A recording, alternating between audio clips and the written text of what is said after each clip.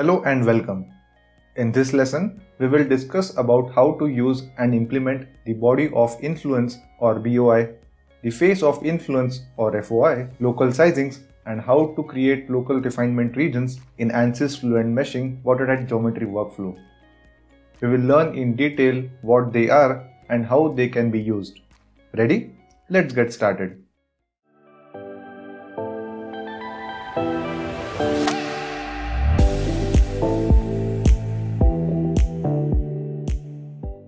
In CFD simulations, it is often necessary to create regions of refined mesh to ensure an efficient capture of the complex flow physics in those regions.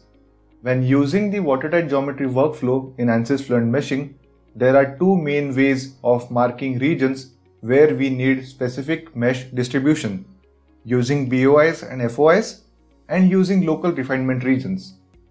Let's start by first understanding the BOIs and FOIs approach.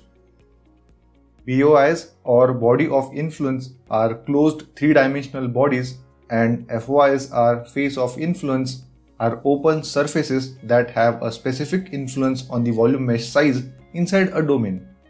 BOIs dictate the maximum cell size of the mesh region that falls within their boundaries while FOI dictate the maximum cell size in the vicinity of their surface.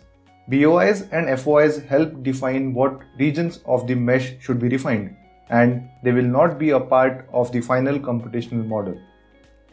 This is very useful since they can be added to an existing geometry at the CAD stage, removing the need to decompose the domain into multiple regions to then specify local face or body sizing. BOIs and FOIs do not need to conform to the model geometry. They can include, intersect or just be inside the geometry or other BOIs and FOIs. Note that the BOIs and FOIs must not be connected to any other body, BOIs or FOIs, so they must be excluded from shared topology. Let's now try to understand this with the help of an example. In the import geometry task, locate and select the geometry file example BOI FOI for this exercise. Activate the clipping planes and reposition the plane in order to show the internal geometries. Here we have two fluid regions containing four objects.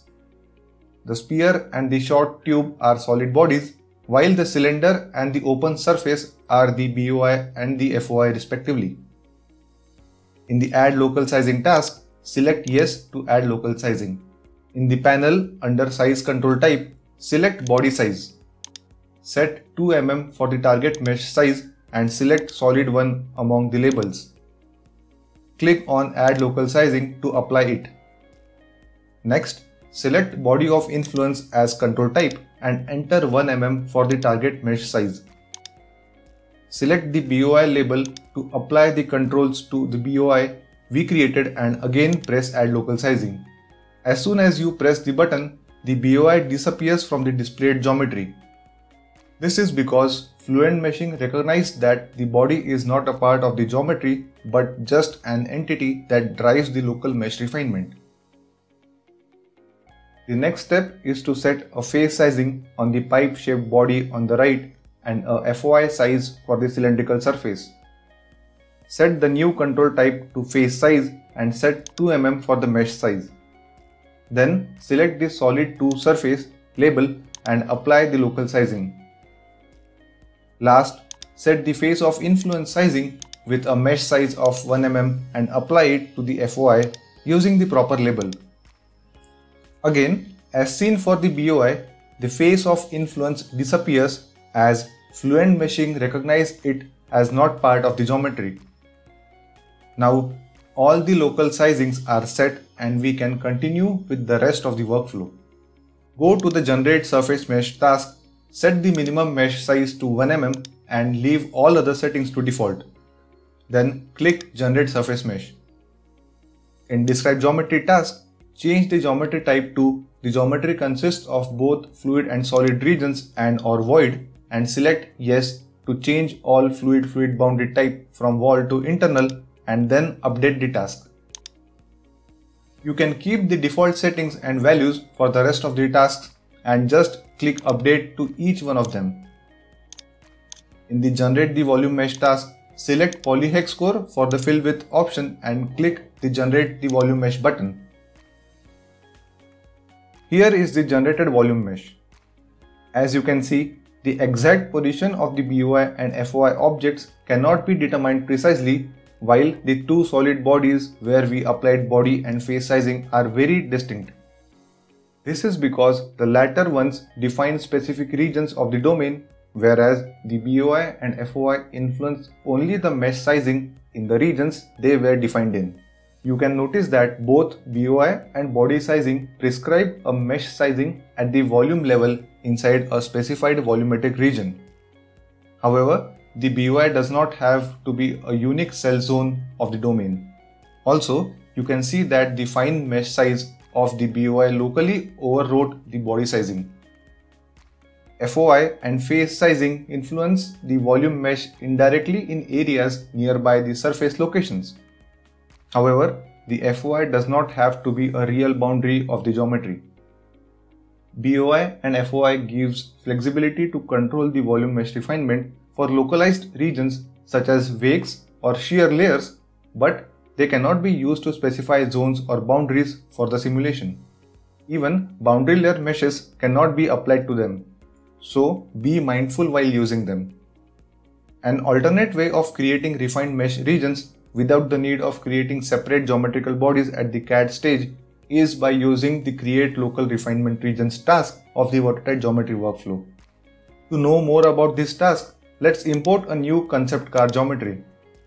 In this geometry, we have a concept car placed inside an enclosure which acts as the fluid domain and can be used for performing external aerodynamic type analysis. For this demo, we will not be using any local sizing, so leave the option to no in the add local sizing task and hit update. To include the create local refinement regions task, right click on the add local sizing task to access its task specific context menu and from the insert new task menu, select create local refinement regions. This new task is placed immediately after the add local sizing task in the workflow. In this task, under the type drop down menu, you can choose between two options, box and offset surface. Let's start with the box refinement type. The box refinement type, as the name suggests, lets the user construct a box around the selected geometry to define specific mesh sizes. There are two ways in which the box can be defined and these options can be found in the coordinate specification method drop-down menu. The default method is the ratio relative to geometry size. When using this method, the user must provide the limits to which the box extends to by specifying the minimum and maximum values as a ratio relative to the length of the selected geometry in that specific direction. Here is an illustration of how the ratios are used to create the box around the selected geometry. As you can see, if the length of the body is L in the x direction and if the min and max ratios are 0.1 and 0.2 respectively, the minimum extent of the box would be 0.1 multiplied by L and the maximum extent would be 0.2 multiplied by L from the surface of the selected geometry. Coming back to our demo, let's select car surface zone. Immediately, you will see a graphical representation of the box placed around the selected geometry in the graphics window. This box is also overlaid with smaller size boxes which represent the size of mesh that will be created inside the box, which is controlled by the mesh size input. The second method to create the box is by providing the absolute coordinates of the minimum and maximum locations by selecting the directly specify coordinates option from the coordinate specification method drop-down menu. These are global coordinates with respect to the origin of the model defined during the CAD creation. For our demo, we will select the ratio relative to geometry size option with a mesh size of 80 and rest of the options at their default settings. Follow the steps as shown here and create the volume mesh.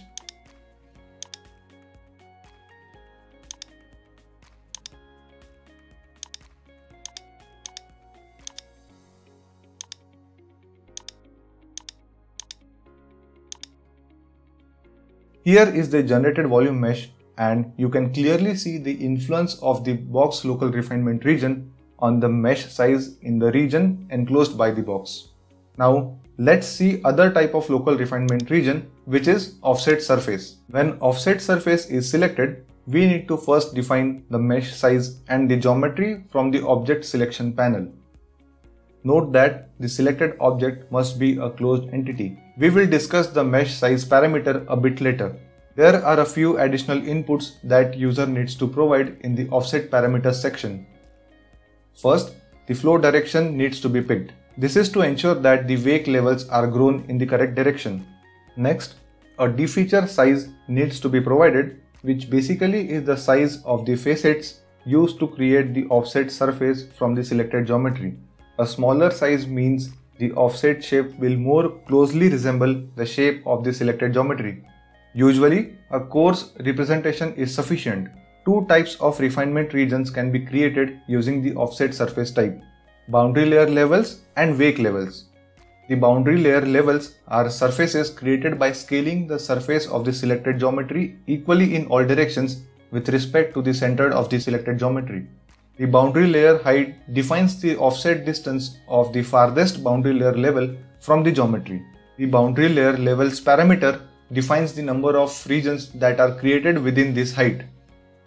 If more than one level is specified, each level will have equal width but a different mesh size. Wake levels are like the boundary layer levels except that they are not equally scaled in all directions. These are primarily used to create BOIs with extended domain in the downstream of the wake region of the selected geometry. Here is an illustration of how scaling works for the wake levels. First, the length of the body from its center to the outermost boundary layer level is calculated in both upstream and downstream directions.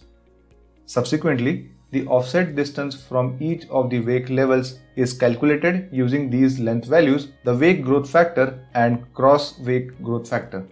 The wake growth factor and the cross wake growth factor control the offset in downstream and cross wake direction respectively using the formulae shown here. For both the boundary layer levels and the wake levels, the mesh size parameter is used to define the sizing of each level which increases by a factor of 2 between successive levels. For example, if we define one boundary layer level and one wake level for our geometry with a mesh size of 20, the boundary layer level will be meshed with a size of 40 and wake level with a size of 80. Follow the steps as shown and create the volume mesh. For brevity, we will skim through the steps.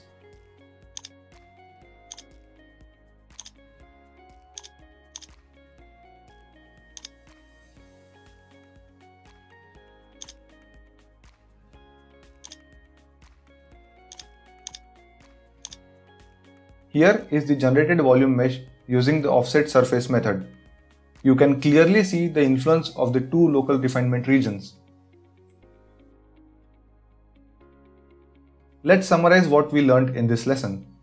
We learned about how to use BOI and FOI local size controls for refining the mesh in specific regions of interest in the model. Then, we understood how to use box type local refinement region. Finally, we learned about the offset surface type create local refinement regions task of the ANSYS Fluent Meshing Watertight Geometry workflow. With that, let's wrap up this lesson.